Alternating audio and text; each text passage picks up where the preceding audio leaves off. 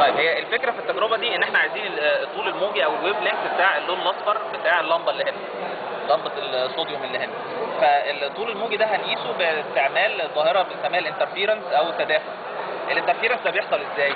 الأشعة الضوء اللي خارجة من هنا بتعدي في العدسة دي وتيجي هنا عند حاجة بنسميها beam splitter ال beam splitter ده هو حاجة بتقسم ال- ال power اللي داخله لها شوية ينزلوا لتحت ينعكسوا وشوية ينكسروا ويطلعوا لفوق. فال beam splitter ده بيقسم ال power اللي جاية له شوية لتحت وشوية لفوق. كويس كده. الشوية اللي بينزلوا تحت بيقابلوا تحت عدسة. العدسة دي سطحها التحتاني محدب سطح محدب من تحت وسطحها الفوقاني مش محدب سطحها plane من فوق. كويس؟ فيبقى هي plano convex lens السطح اللي من تحت زي المنظر ده كده اهو بيحصل إيه؟ لما الأشعة بتوصل للسطح التحتاني ده اهو شوية بينعكسوا وشوية بينكسروا يخبطوا. تحت خالص بقى في زي مراية حتة ازاز شغالة مراية بترد الأشعة تاني. الشعاع اللي انعكس من السطح التحتاني ده اهو والشعاع اللي انعكس من ال mirror الاثنين دول بيحصل بينهم interference أو تداخل. الحتة دي بتلخبط الناس واحد يقول لي ما الشعاع ده جنب الشعاع ده مش متقابلين إزاي اسمها interference يعني إزاي ده بي interfere مع ده؟ هم مش لامسين بعض. ما هو ده يمين ده شوية. هي الفكرة في إيه؟ دي حتة نظري ظريفة شوية. ادي كده ده ال ray اللي بيحصل له propagation بتاع الضوء. عمودي عليه ال electric field بتاعه وعمودي كمان ال magnetic field بتاعه. لو في ray جنبه وليه نفس ال direction بتاع ال electric field اللي هيحصل إيه؟ الاثنين دول صحيح المسارين بتوعهم جنب بعض مش منطبقين على بعض. بس شرط ال interference مش كده. شرط ال interference إن ال electric field هي اللي يحصل لها تداخل. فال electric field بتاع ده أهو في الاتجاه ده وده في الاتجاه ده الاثنين دول مع بعض بيمثلوا wave front واحدة أو جبهة موجة واحدة. فده بيمثل موجة وده بيمثل موجة. لو الاثنين parallel يبقى الاثنين بيمثلوا نفس الموجة. الموجة في الحقيقة هي ال wave front أو جبهة الموجة اللي هي العمودية عليهم.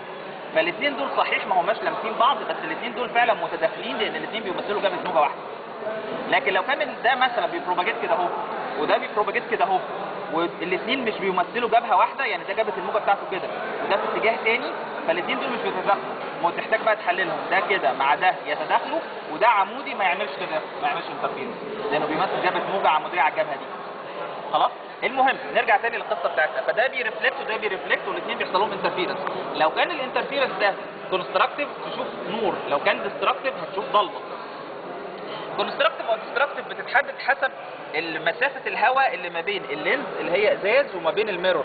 المسافة دي ممكن تحقق شرط constructive interference وتشوف نور أو destructive interference وتشوف ضلمة. عشان كده بتشوف حلقات من تحت بقى من جوه هنا. الحتة دي بتحقق شرط ال destructive interference فبتشوف بقعة مظلمة في النص. بعد كده بيبتدي الهواء يخش بين الاثنين فيبتدي بقى نور ضلمة نور ضلمة نور ضلمة وانت ماشي. آه، أول دايرة بال order بتاعها m بيساوي واحد اللي بعدها m باثنين m بثلاثه واحد يسألك يقول طب أنت بتجيب دلوقتي الاقطار بتاعت الدوائر الضلمة. ليه ما اشتغلتش على الدوائر المنورة؟ ممكن تشتغل على المنورة بس مشكلة المنورة إن ال- الشرط بتاعها بتاع ال constructive interference مش very sharp يعني ال destructive interference very sharp بتشوف دايرة واضحة قوي. ال constructive interference اللي التداخل البناء بتلاقي الدايرة عريضة شوية لأن ممكن يكون constructive interference 100% أو 90% أو 80% أو 70% كل ده منور منور منور منور. لحد ما يبقى التداخل 0% ده مضلم. فعشان كده المضلم بيبقى الشرط بتاعه sharp قوي فتقدر تشوفه. لكن المنور ممكن يكون منور عند 100% أو 90% أو 80% أو 70% فتلاقي دايرة عريضة يعني.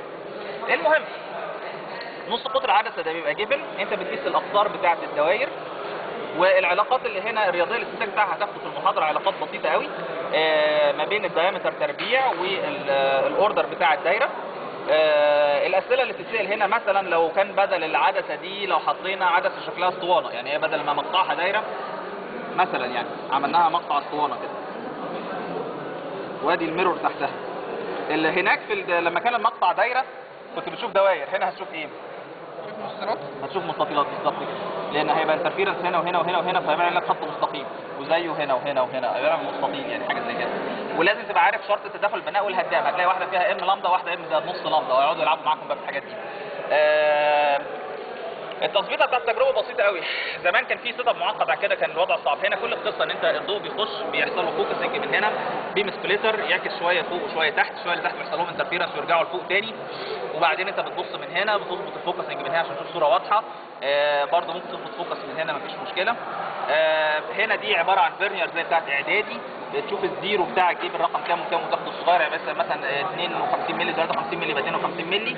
والرقم اللي بتاخده من هنا اللي بيجي قصاد الشرطة دي حاجة من 100 مللي. يعني مثلا ممكن تكون 52 مللي و33 شرطة يبقى 5 2.33 33.33 ملم بتقيس يمين الدايرة وشمال الدايرة وتطرح يبقى ده هو الدايمتر بتاع الدايرة. بتاخد لك 3 4 5 قرايات يعني على قد ما تقدر وفي الآخر ترسم العلاقة الدقيقه وشكرا جزيلا.